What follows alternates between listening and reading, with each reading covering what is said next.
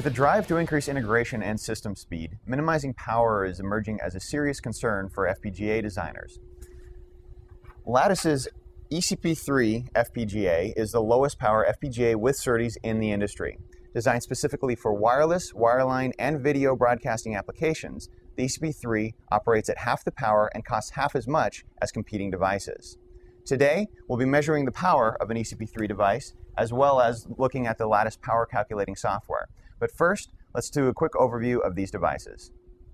The ECP3 is based on the industry standard LUT4 fabric with up to 7 megabits of embedded RAM, DSP slices with 320 18 by 18 multipliers, 800 megabits per second IOs with pre-engineered DDR3 memory interfaces, 3 gigabits per second SerDes, and a wide range of PCS-supported packet protocols.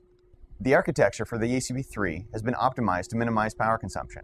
The configuration logic, the LUTs, the EBRs, the routing, and the DSP blocks have all been specifically designed to minimize static and dynamic power consumption.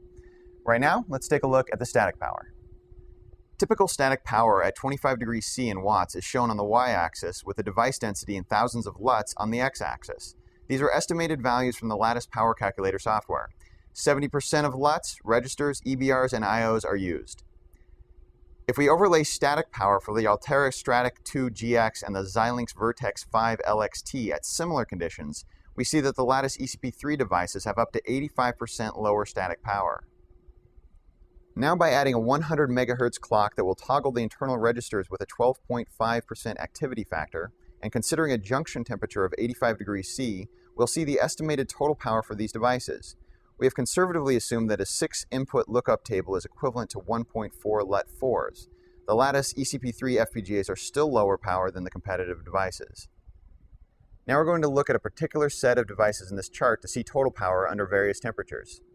We're measuring total power for the ECP3 95K LUT device. We're going to be doing this at room temperature, and we're using the same configuration, but this time we're going to apply a 32 IO uh, stimulus at 100 megahertz. We're also connecting ammeters up to each one of the supplies. These ammeters are going to measure the VCC core, VCC IOs, and the VCC aux, which is your other logic in the part.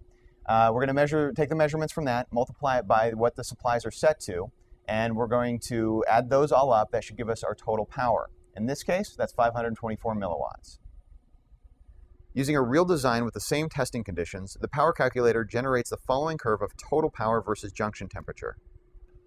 Now overlaying our measured total power of 524 milliwatts at junction temperature of 32 degrees is very close to the calculated value, and most importantly, below the curve. Now we're going to be heating up the device for a junction temperature of 85 degrees C to get another data point.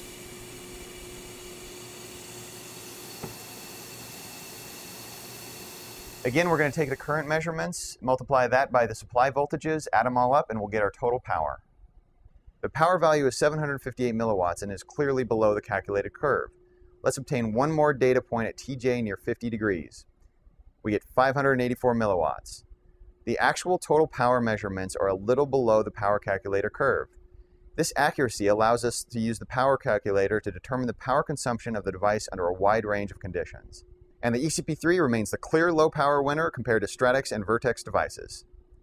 We've used the power calculator to quickly and accurately determine the power. Let's take a closer look. The Power Calculator is a summary tab as well as individual tabs for each power component such as logic blocks. In estimation mode, the designer can quickly obtain a total power estimate without a netlist.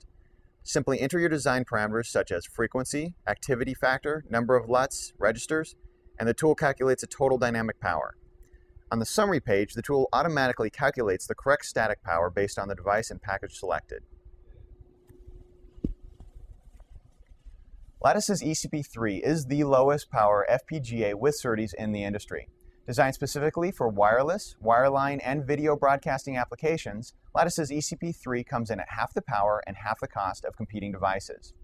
For more information, look us up at our website.